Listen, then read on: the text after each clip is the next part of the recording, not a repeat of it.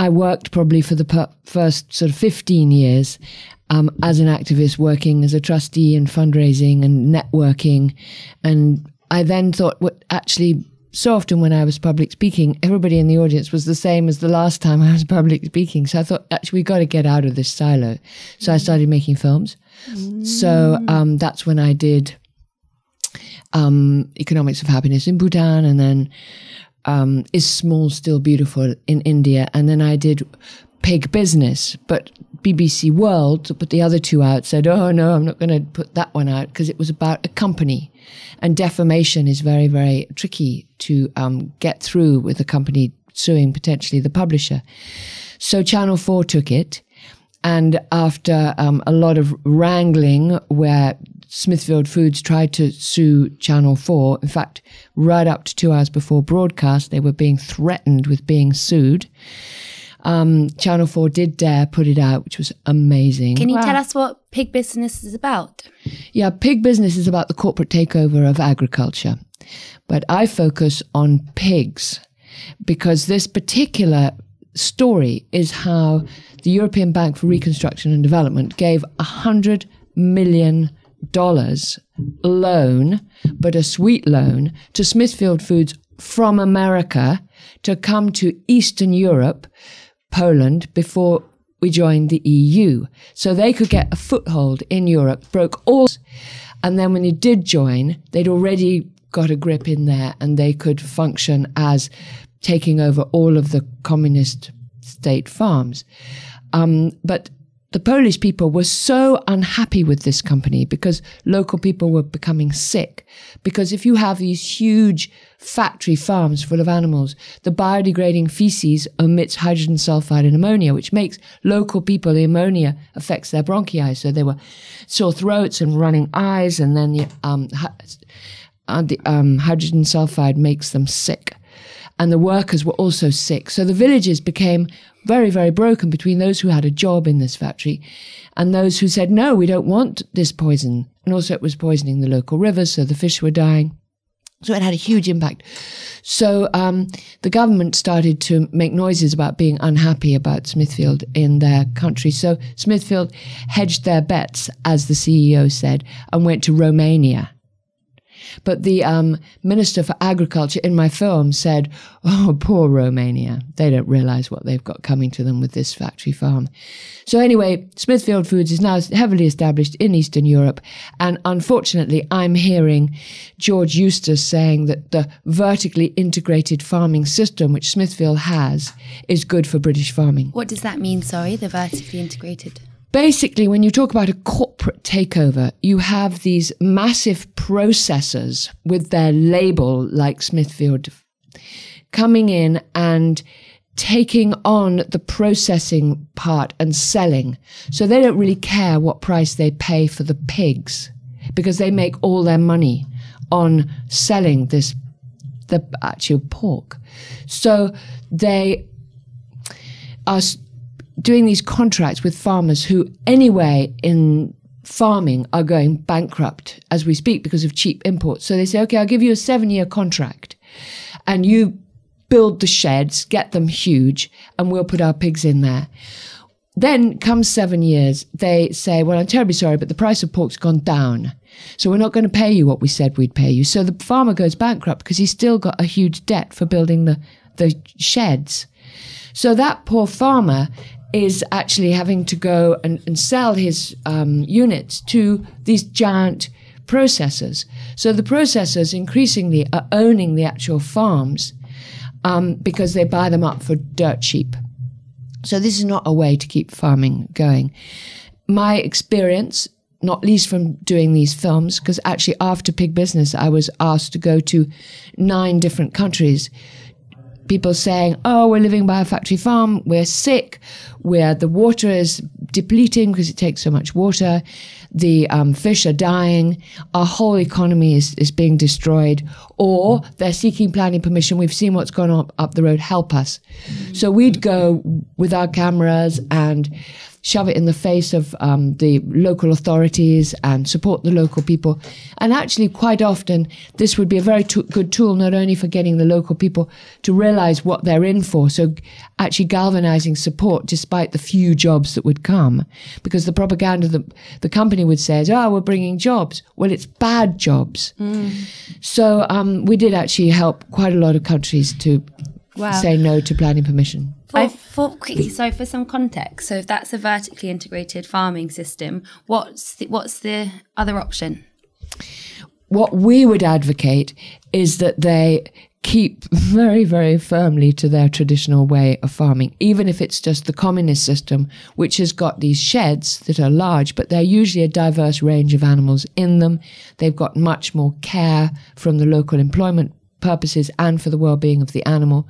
But ideally, we would say anybody who's still farming very traditionally with a mixed farm is far better way of farming to feed the world. And increasingly, the FAO, the Food and Agriculture Organization, which is part of the United Nations, is saying that family farms are 100% the best way to feed the world of a growing population. So we've got to undermine the myth that's been peddled by the corporations that we have to double production in factory farming systems to feed the world. That is Yeah. untrue. I'm seeing so many threads emerge just in your conversation, just in that what you spoke about just there, when it comes to like corporate takeover at the expense of the local people, um, when it comes to like health and well-being in comparison to kind of the economic growth of like a company in a minority kind of 1% situation. And we are hearing so much like, oh, we're going to be 10 billion people in so many years. Like, how are we going to feed the world? It has to be coming like these mass agricultural systems um, that are ultimately owned by very few people. So then we're kind of at the, at the, at the feet of all of them. I'm wondering, like, was it this, what drew you into, um, factory farming was it was it this or was it um, was it something else like what drew you into factory farming at, first I think because I so respect small scale family farms, partly because I think that it is a way for us to be happy. I think being a, connected to the land is a very genial way to be with your extended family and with a community. And I think that that way of living is very, very beautiful. And I, when I first got into the movement, I traveled a lot to see about traditional farms all over the world, and they were thriving in terms of happiness and well being and self sufficiency and food sovereignty, where they owned their own land. They knew that that land could feed them. So they were relaxed and they were happy and they weren't stressed. It's the moment you get the land grab of people coming in and saying, We're going to grow monocultures here, you can get a job. Well, the jobs are so few and far between. The pay is so appalling. For example, when I was in Kenya with my kids, I was just showing them traditional farming, and the people were saying that their neighbors were drinking the pesticides because they just couldn't sustain their families. As a suicide. So they were su- committing suicide. Mm. Because, you know, your dignity or everything is broken when you become dependent on a job which is just a one day contract and it doesn't even pay you enough to sustain your family. And the way that you used to grow on your own land, you'd grow a diversity of crops. Well, they say, you know, well, we, we pay them. Well, they could only afford to buy rice. And then you, they invent, you know, and why is rice why is, GM rice, like golden rice, and they say, oh, we'll genetically engineer it to have more vitamins in it so that people stop getting blind. But it's like, no, people will stop getting blind if they could actually have a diversity of food that can sustain their health. this is So they- something that happened in india though isn't it yellow rice Yes. Golden rice. Golden rice? Yes, genetically engineered. could you explain a little bit about that for context that specific example of golden rice Well, basically, the corporate takeover of agriculture is that they want, the corporations want to give, they want to own the land, they want to um, control the inputs and own the seeds.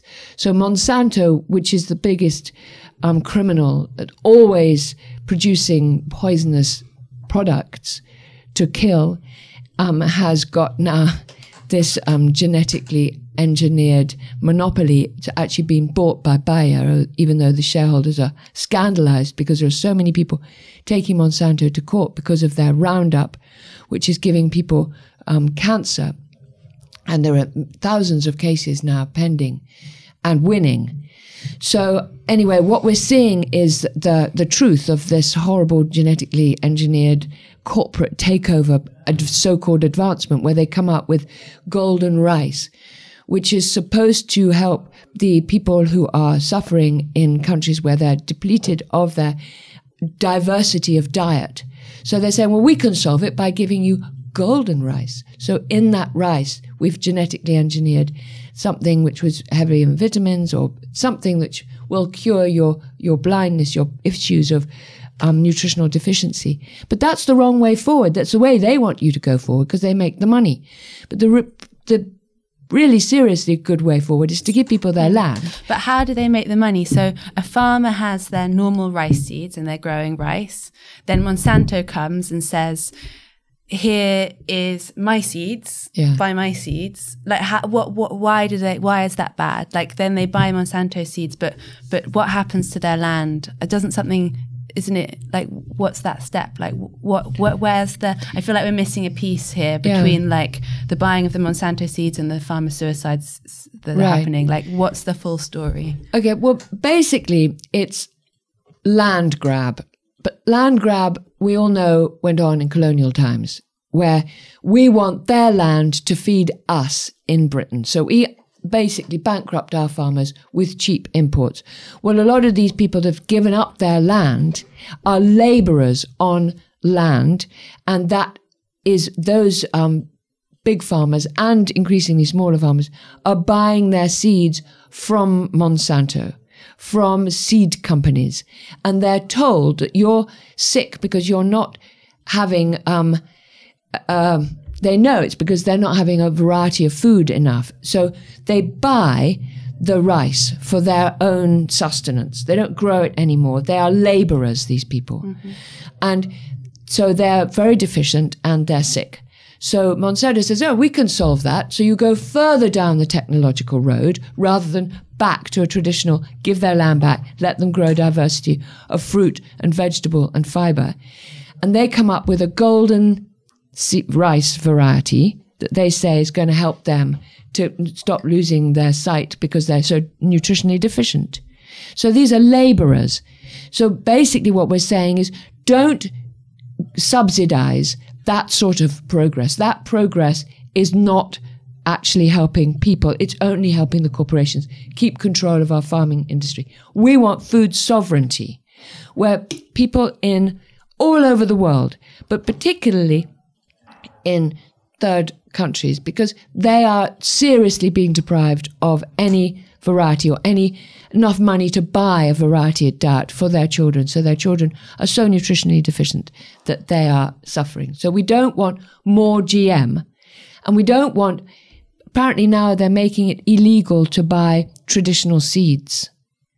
That you have to have a certain type of seed which is owned by the corporations. Yeah, that this is quite an, um, a beautiful movement that's occurring in the resistance against against this, which is seed sovereignty, um, and I guess also food sovereignty, where people are saving their seeds now. Um, and I was listening to a beautiful podcast the other day about it, um, and about the kind of deep relationship you can have with your seeds and the and the seeds that have been part of your community and fed your community for years. Um, could you explain a bit about um, seed sovereignty and, and food sovereignty? And land sovereignty. and land yes what does it what does it all what does it all mean yeah what does sovereignty mean Well, it's different to security in that food security, the government is saying, oh, well, we're paying people enough money that they can buy their food and we'll ensure that there is enough food for people to buy. And so we'll import it, we'll make sure they get it. What we're asking for is food sovereignty, where next door to you and in your local farmer's control is the land. So people need access to land. They need to own that land or at least have seriously um, secure tenancies to that land so they can grow food for their family, for their local community and for wider the excess can go to the cities and then wider than that can be exported but always food and seed sovereignty so that they can develop their own and save their own seeds because it's very important apparently that seeds are local to an area because they've been developed through the families from generations to be very adapted to that soil and to that system and to that amount of water. Mm. So you can't have this sort of trading of monoculture seeds because anyway, it's actually much more prone to disease because if you've got just one strain and there is a disease, it just spreads like fire across the whole system of seeds. Yeah. Same with animals. And hence, you then um, need a lot more pesticides because. Um, and there are patents on those seeds. Patents on the seeds, mm. and then pesticides to work with those patented seeds, which is why you get in that loop, isn't it, with Monsanto, with organizations like, or corporations yeah. like Monsanto. Um, I was reading recently about soil erosion.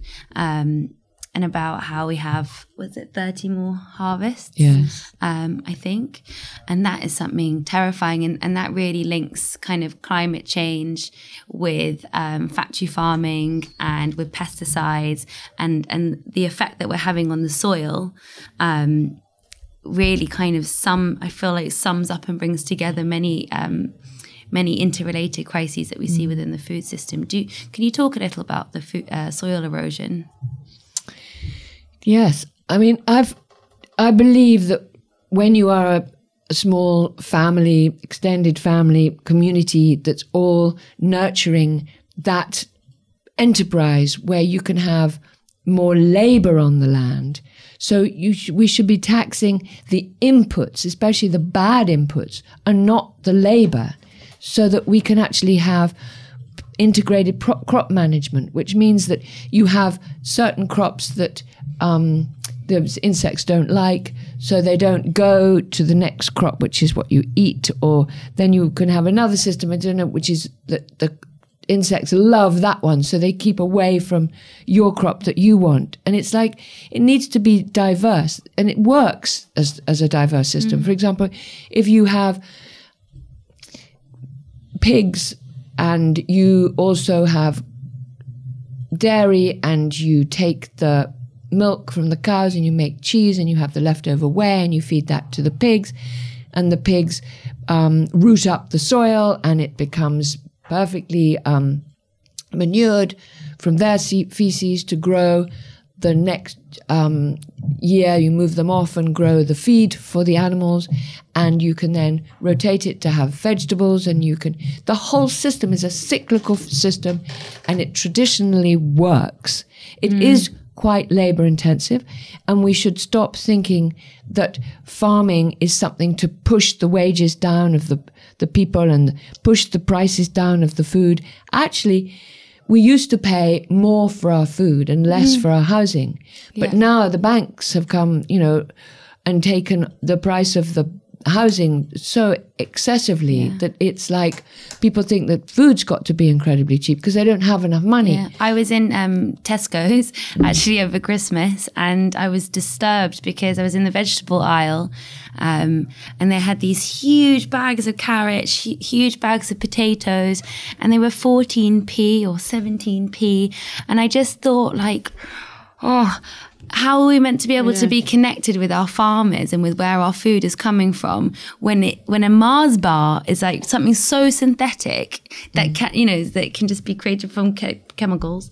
I don't know is, is is so much more expensive than this huge bag of food that could sustain me for a week. I know it's crazy. And also I've been thinking a lot about how England, like the, the landscape of the United Kingdom, is so ideal for vegetable growing and we're like a nation of farmers, like ancestrally a nation of farmers, and mm. um, and then all of the a lot of the food now when you walk down the aisle not only does it come in plastic and millions of pa- different types of packaging but very very little of it comes from within the united kingdom um, which is kind of shocking to think about all those extra miles that are involved in bringing carrots into the UK when the UK land is ideal for carrots. Yeah. Um, yeah. Well, the calculation has been done that says that you could feed the British people with their basic needs from the UK. The only thing we need to do is to reduce our meat intake. So, for example, I'm vegan, but I'm not vegan because I want to see the end of eating meat. I'm vegan because I had cancer and you have to alkaline your body.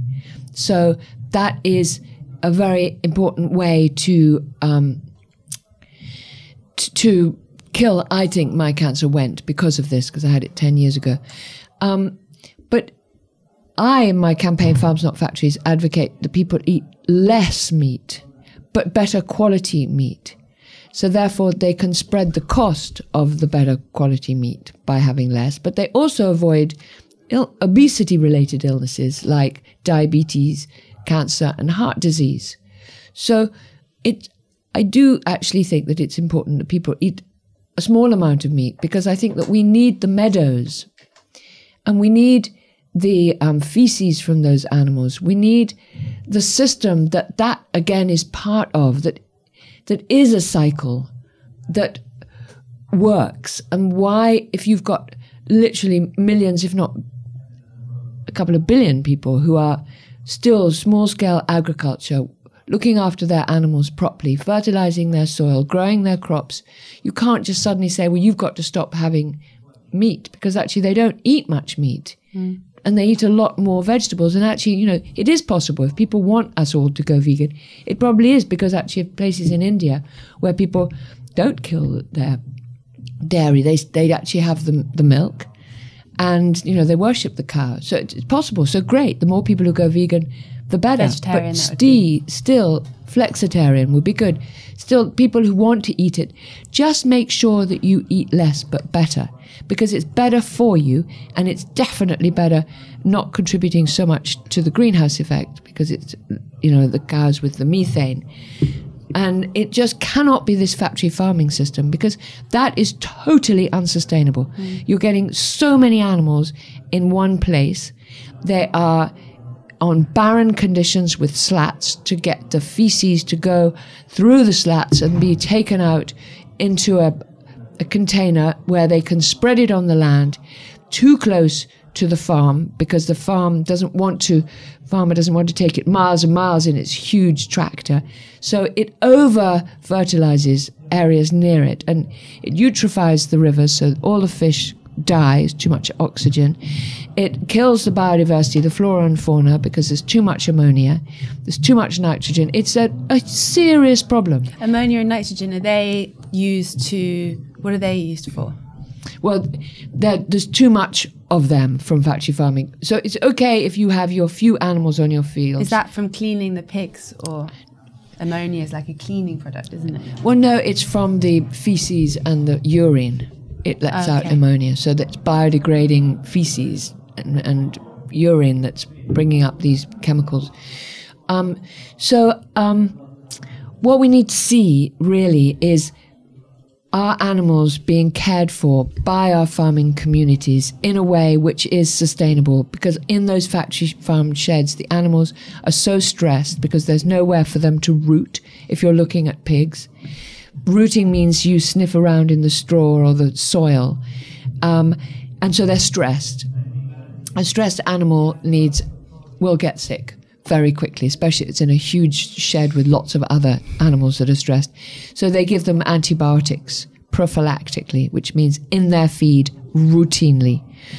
And that means that these um, sheds are breeding ground for antibiotic resistant bacteria, which not only um, spreads to the other animals, but it comes out of the sheds on the flies or the rats or the workers, and it spreads in the local community. So you have Campylobacter, you have um, Salmonella, E. coli, and now MRSA, which is extremely, extremely dangerous, especially if you are a um, vulnerable person. So you can carry it and be perfectly healthy.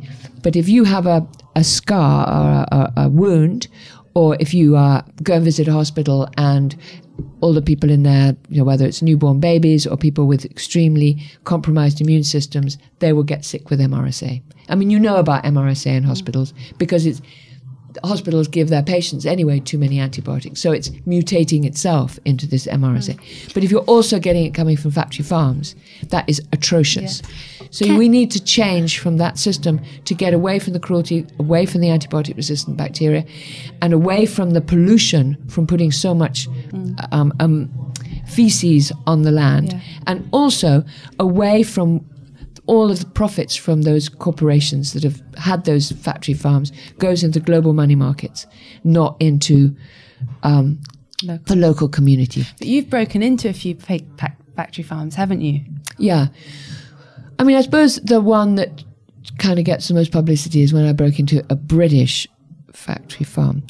But you know, I didn't reveal the name of the farmer or his brand because to me, he's just another farmer who's been forced to break the law and cram his pigs into the sheds and sell them under a misleading name in the market. But how did you get in there? What did can you like? I watched the video. I think there's a clips of you doing Yeah. your break in in the middle of the night. Yeah, well, we had to wait until the farm workers had gone to bed. So, It's like um, being kind of a naughty, like breaking into your school teacher's house in the middle of the night. Like, it's scary. I mean, I don't enjoy doing these things, but um, in a way, you know, visually, it's so atrocious what's going on in these farms. Did you jump the fence? Yeah, you, I just literally climbed over their barrier. I mean, a lot of them I've tried to get in and I can't get in, and I don't break in because that's illegal. But if you can just walk in carefully. but anyway, I went back for the third time and I got caught. Third, three times. Yeah. And um, because I was going to do it Facebook Live. And uh, he said, It's very lucky that I caught you because the boys waiting at the farm, they're going to beat you up. They're absolutely furious. And it's like, um, and he said, You know, you realize that I've been trying to, in the past, be um, RSPCA assured, but people aren't prepared to pay the extra money to buy that. So I had to go back to this system. Yeah. So we've really got to the point of our campaign is to get me, more people to be aware of what to buy, Yeah. where to buy it. Yeah. There's such um, such a there's such a tension, isn't there? Because you know, increasingly the argument for veganism is becoming stronger and stronger. And like you said, you know, veganism is like an, an important piece, and and the more people that can be vegan, the better in, cons- in consideration for how many people are on the planet, and you know, and climate change and ecological um, devastation. At the same time, I think um, what I'm getting frustrated with at the moment is how in this feeling of crisis and an emergency that we kind of just hold so tightly onto any um, kind of line of hope that we think we found, which is for a lot of people the line of veganism, animal agriculture being the driving force of um, uh, biodiversity loss and and carbon emissions but it's just not it's just so much more complex and nuanced than everyone becomes a vegan. And if you're not a vegan you're a bad person. Because actually then you end up playing into the hands of, of globalized food systems and and away from localization which whilst localization might not have the biggest carbon effect environmentally it has a huge effect. Um, and i just think that that that we need to stop clinging so hard onto arguments just because things are overwhelming and confuse like and confusing a lot of the time and think more about what what kind of like what is it that taking into consideration where where we are and what we can do at that time in that place and how we can support a deeper systemic change rather than kind of judging everyone else all the time because I see a lot of stuff on Facebook about anyone who's not a vegan is basically a terrible person, and that's just that's not a fair line of argument. Um, and also, you know, and then and then, for example, during Extinction Rebellion um, in October. Uh, there was a segment Animal Rebellion, which I completely agree with with the values of it, but they went to the um, Smithfield. to Smith. What's it called? Smithfield. Smithfield Meat Market, and we're there for the week. And there was a part of me that felt like, you know, poor butchers and farmers, because it's not it's not their fault. It's mm. it. I mean, like yes, they're they're part of the system, but actually, like I'm not anti eating meat. I'm anti the way meat is produced, and I'm anti how much meat is produced, and I'm anti the way meat is marketed to be and so how cheap. cut off we are from the meat. Yeah. Like how cut off we are from the fact that that was a living animal, and we're eating, if we eat factory farm meat, a living animal that was highly abused, highly stressed. yeah, That's traumatized. traumatized. and and also you know in in London you don't you know you have so there's a lot more options it's not just it's not like you, you're just eating the meat from the next door farm type of thing. Um but like whilst I'm saying all of this I'm also aware that you know the position I'm in of like privilege and being able to have lots of choices and um and it's you know it's important to like acknowledge that. But what i love about the work that fa- farms not factories does is t- trying to kind of democratize what healthy eating is and show that it doesn't need to be really really expensive to eat um eat better higher quality meat can you can you explain a bit about yeah, the labeling that would be great. Yeah. Presently, we have a campaign which we're launching uh, as we speak called Pigs in Chains.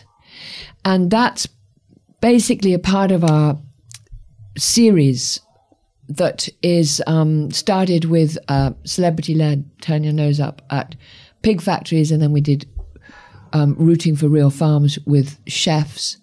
And then we did a film in Northern Ireland, and it was led by Jerome Flynn from um, Game of Thrones. And this Pigs in Chains series is that we went to the AGM of five big high street companies Greggs, Domino's, Sainsbury's, Morrisons, and Tesco's. And we bought a share in their company so that we could go to the shareholder meeting and say, We're worried about the value of our shares. We had one. Um, because you are still selling factory farm meat. And people are going v- vegan and vegetarian because they're disgusted by that factory farming system. So why do you continue?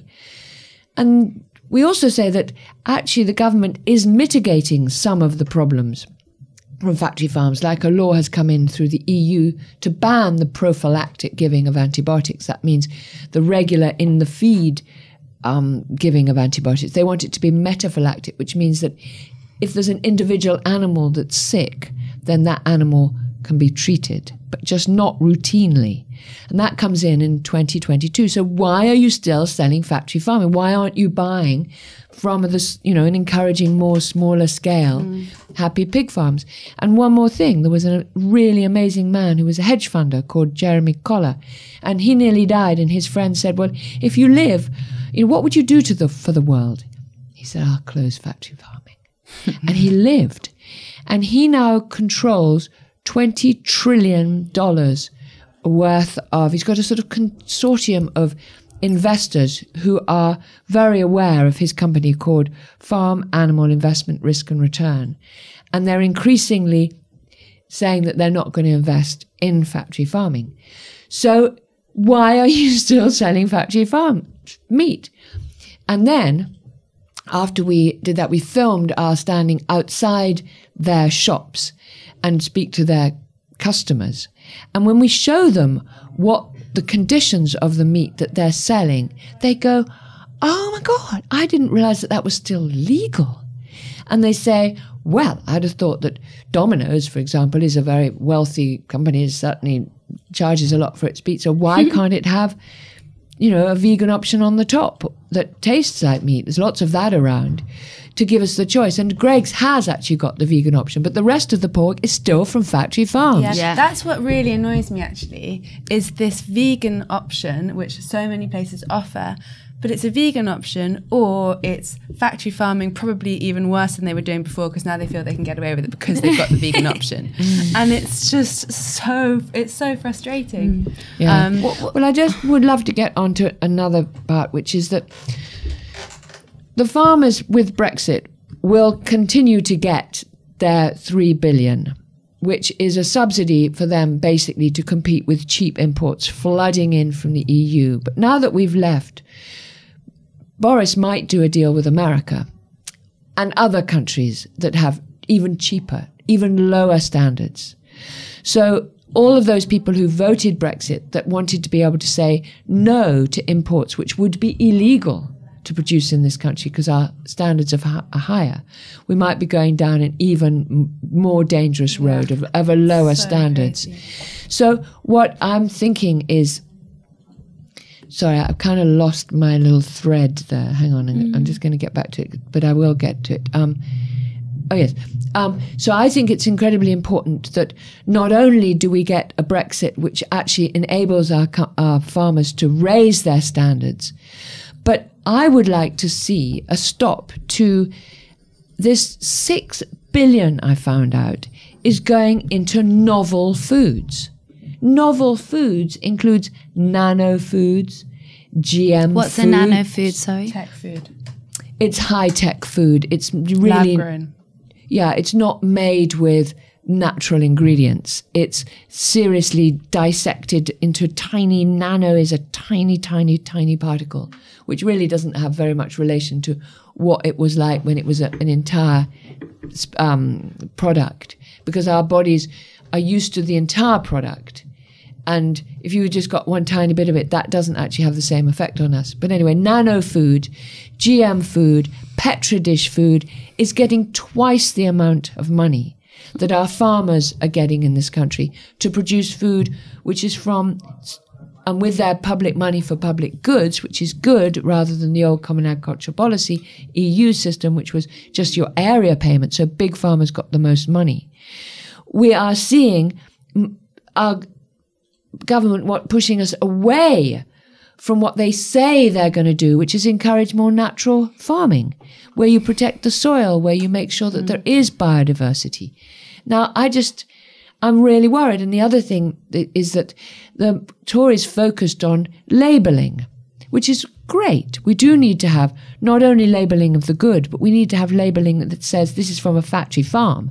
This is how this has been produced. We need to have something where it's got a sort of app that you put it into the um, label with the price, which says exactly what the farm was like. So yes, you can have the choice, but people wouldn't buy from a factory farm. They'd buy from the Happy Pig farm. That's why they're really not doing it. We're worried in the food movement that that interest in labeling is because although the government has said that they're not going to undermine our food standards in their trade treaties, we believe that last minute they'll say, I'm terribly sorry, but we couldn't because we were saving the jobs for our cars because we need to keep importing them.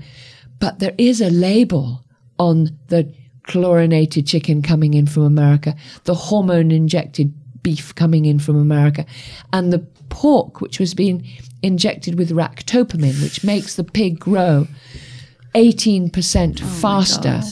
It's a beta agonist. So these pigs are unbelievably stressed. So as I said before, they're already stressed when there's barren conditions in these factory farms. In America, the conditions are diabolical. They are their entire life in the mothers in a cage they can't turn around in. And during their pregnancy, it's been banned in the EU. So they're only allowed to have it for one month of the three months, three weeks, three days of their pregnancy. In Britain, it's entirely banned in the three months, three weeks, three days of their pregnancy. You're only allowed to have it in that cage that she can't turn around at all when she's feeding her babies. And that's why, and that would be called UK normal standards and red tractor. But what we're saying is please don't buy red tractor. It's not good enough. That mummy is still in the cage when she's feeding her babies. You need to buy RSPCA assured, free range, or organic. Can I ask the, the about the difference between um, free range and organic? Because on sometimes you see things saying free range, sometimes organic, and it's quite hard to find things that are free range and organic at the same time. Well, because there wouldn't be any point in putting that label on. The the free range is basically it's the guarantee of the seller that that has always been outside and has been treated naturally. Um, they haven't, however, got the conditions of the feed, which is quite strong in the organic system. That it's not just full of um, grains; it's got to have more nutritious feed. But the organic is that somebody from the organic um, certification system has gone and checked that you have kept up with the rules. So it's an independent label from the seller. So, you know, if a big company is saying it's free range, you, you're trusting them. It's certainly better than RSPCA should, and it's certainly be- better than any of the others, which has, in other words, just an So EU. red tractor is nothing really. Red It's just- tractor is it's better still than a cage. It's still drugs. it's better than EU. It's better than American. If we're going to get that, it's better than Australian. It's better than any of the others because it's British, but it's not good enough. Don't buy it. You know what I find so shocking is the fact that we might in the UK have high standards, yet we're able to import from places that don't have those high standards. How is that possible or consistent with our ethics? Well, I think that that's why so many farmers actually voted to come out of Europe because they don't they want to be able to say no to all the products that are flooding into our markets that are not produced to a standard Yeah. that we Yeah. enforce here and that would be illegal Yeah. if we practice that sort of system here. So that is how we should remain a barrier. And actually, Michael Gove said he would have tariffs. Write to your member of parliament. Here's the letter. It's very easy. You just press a button that says to your government, please don't allow any imports to come into this country which would be illegal to produce in this mm. country. I think Brexit was just one massive scam headed by government and corporations so that they could have complete unregulated free trade with all of these countries. Well, it's not what a lot of people voted for Brexit. They wanted more control. Yeah. And that was the promise. Do you mean people within the UK wanted more control? Well, they, they were the ones who voted Brexit. Yeah. yeah. because they didn't want to have their markets constantly flooded with produce which was illegal to produce here. I mean, you've seen the undermining of the farming system from the EU in this country, where it's now just full of giant factory farms, giant monoculture farms, monoculture seeds, more and more pesticides and chemicals. The common, the common agriculture policy seriously never worked. It was just total devastation for farmers. That was giving the biggest farmers the most money. yes. Okay. And encouraging people to go bankrupt and be bought up by ever bigger. So every farmer would, you know, think, "Oh, I'm okay, I'm still surviving," and then somebody, you know, the, the economy would again cheaper coming in, and he would go bankrupt too. You can't compete when there's cheaper coming in. We need to protect our farmers. Yeah. We're an island. So how? So we have the labels. Are there any other um, practical steps that people can take in order to ensure that they're supporting a more regenerative um, food system? I think that they can remain very aware that their own body needs nutritious food and the sort of factory farmed food, monoculture food, heavy chemical food is not actually giving them, them the nutrition that they need. And it's too expensive to buy supplements. You really need to follow on the internet um, advice of what sort of diverse diet to eat and how the labels should look for you to know that that food has the nutrition you mm. need. Mm. And largely it's going to be organic because organic has the soil that brings in the trace elements into that product that you get the sustenance. Mm. And your body will not be overweight because it's not just filling itself with sugar and nutritionally de- deficient food. You need to take exercise as well, obviously, but your diet is essential. And in those choices, you will see that uh, organic farming is much smaller scale. It's much more uh, rotating the system of growing. And better still, you get it from local producers. So that doesn't mean that you have to live in the middle of the countryside. You can look on the internet and you can get a box of organic vegetables delivered to your door at a really competitive price if you go to Farm Drop.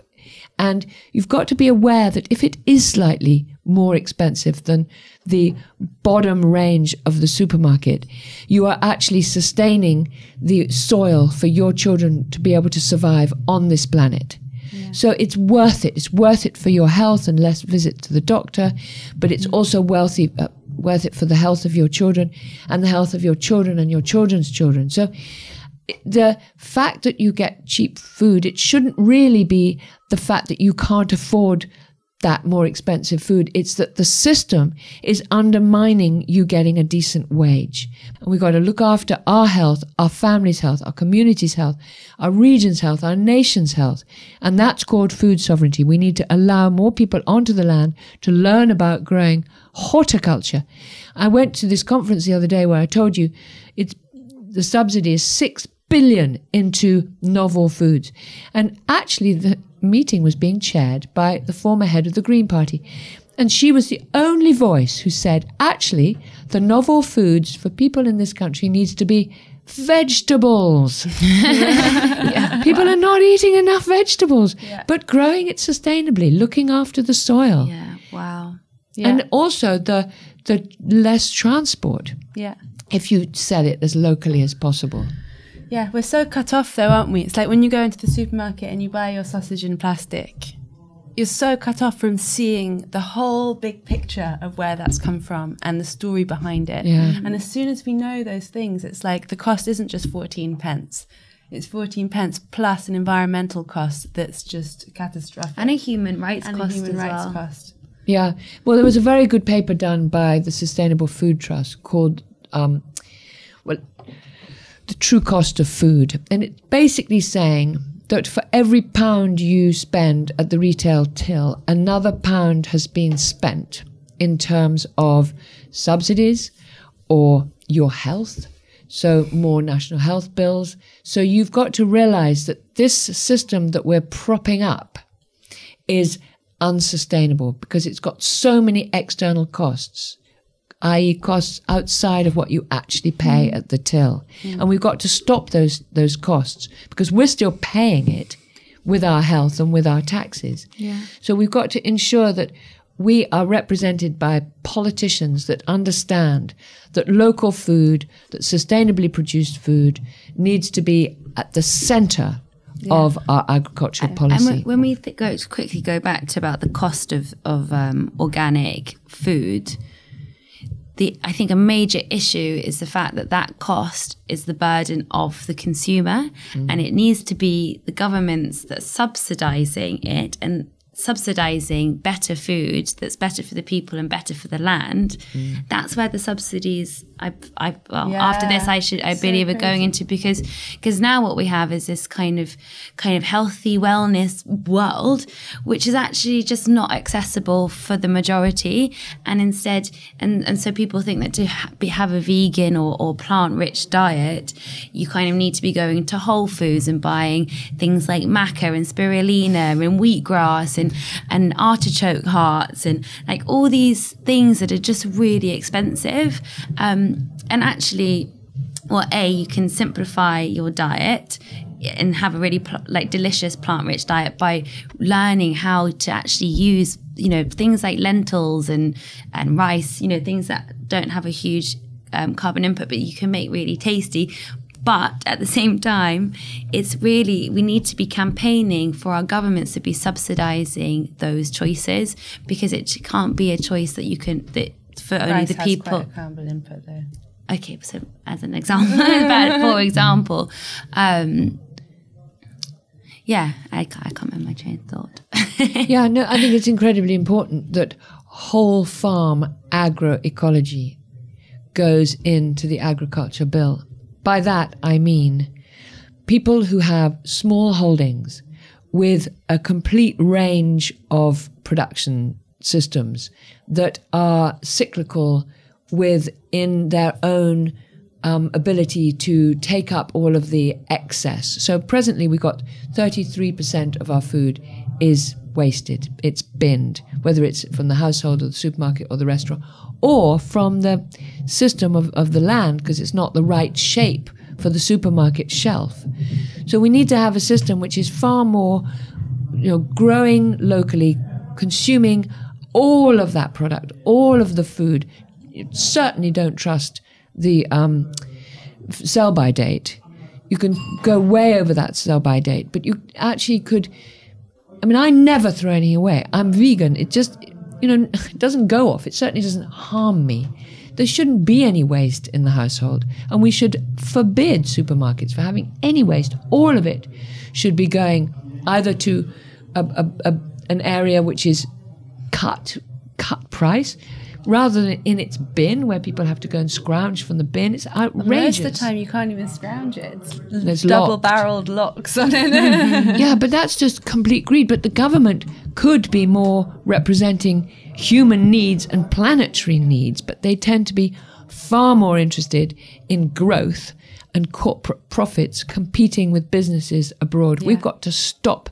We've got to have compassion, cooperation, community, not competition and you know this downward spiral of cutthroat businesses. Yeah. yeah, I mean that's why technology, technological foods are being invested in. It's because it's a way to have control and to make more profit. Yeah, it's more control from big business. Yeah. We need to go in the opposite direction. We need to go back to the land. And we can do it. It's on the internet. We need to buy these boxes or get involved in a community supported agriculture, take your children down and help with the growing. Volunteering on a farm. Yeah.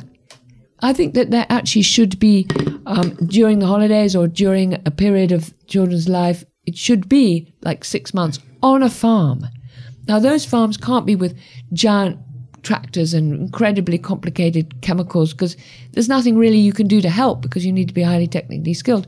But there are farms still out there that are small scale. Agroecology and whole farm agroecology is really what we need to be looking at. Mm. So it's small scale and it's family run, and you can help with making the cheese, you can help with picking the vegetables, you can help with growing the vegetables. You can start to understand how you can pick the leaves from the hedges and take them over to the sheep. You know, there's there's so many traditional ways of looking after our animals that we've abandoned because we've been taught by corporations through Farmers Weekly that's being completely subsidized by the corporations who want you to buy all the inputs Yeah, from them. yeah. And connecting, reconnecting to na- reconnecting to the land, to our food system is Yes. like a, a sure way for reconnecting communities and therefore happiness as well. Yes. And I mean, I'm, I find being a vegan quite useful because if those um, very, very um, dogmatic veganists say, oh, well, you've got farms, not factories, you're obviously still killing animals. And it's like, well, actually, I am a vegan.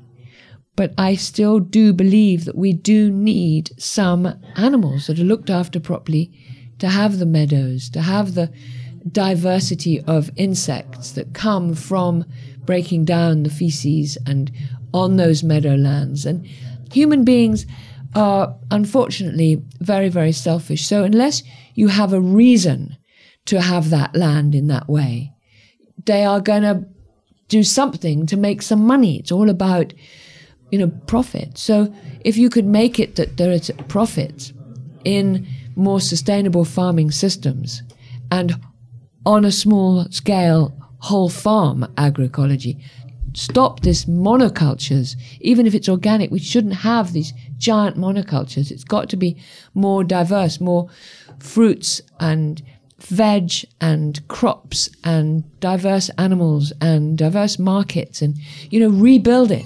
Empower the farmer that way. So he's not always having the prices pushed down by the supermarket because everybody's providing the same product. Mm. And actually, even when we had the supermarkets got together and said, okay, we will pay a basic price for the milk, they were sued by the Monopolies and Mergers Commission for coming forming a cartel to dictate the price of milk.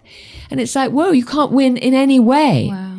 We do need to pay more for products so that we have a fair price to our farmers who grow our food. We'll starve if we don't have farmers. Mm. But we need real farmers, not intensive industry. Yeah. That's for cars.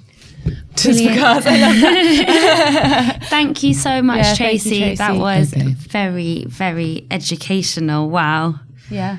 I feel like it would be good just to close to say a couple of things that ways you can buy food. So we've like to summarize, we've done the labeling in within supermarkets. So it's free range, organic, RSPCA assured. Yeah. Then there's obviously markets and farmers markets Right. where you can talk to the people who you're buying your food from to find out about it. And then you mentioned online, there are Farm Drop, Yes, and, And- Big Barn.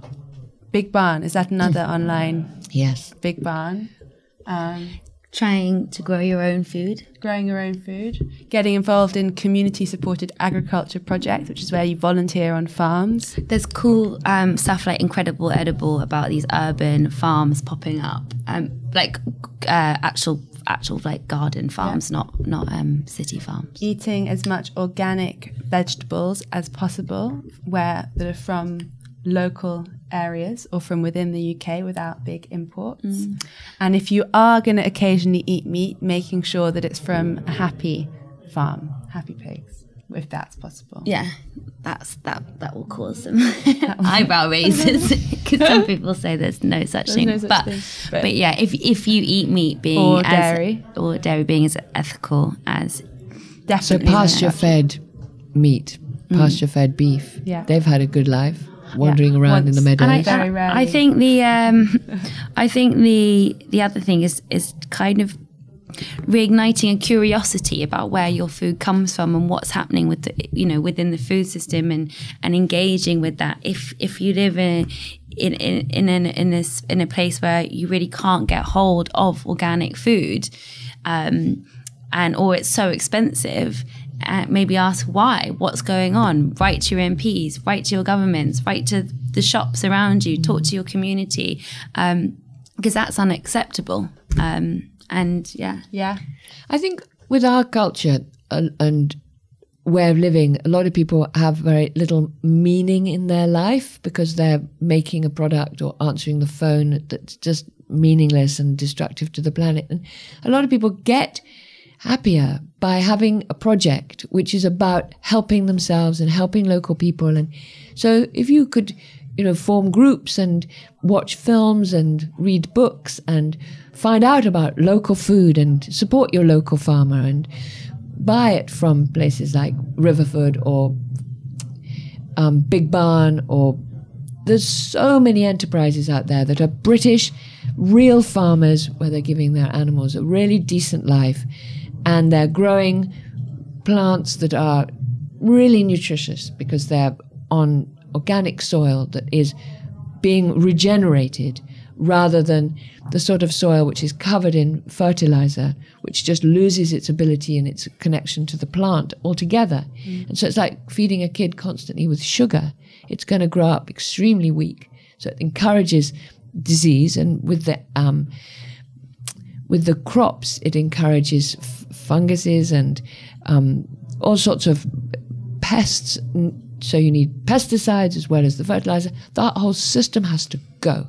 But we can make it our project. We can do it as human beings and enjoy the choices and help each other to find out. It's a revolution and it's fun. thank you. Thanks, Tracy, so much. Brilliant, thank you. So everyone needs to go to www.farmsnotfactory.org. Org. Brilliant, thank you. And write to your MPs. Thank you.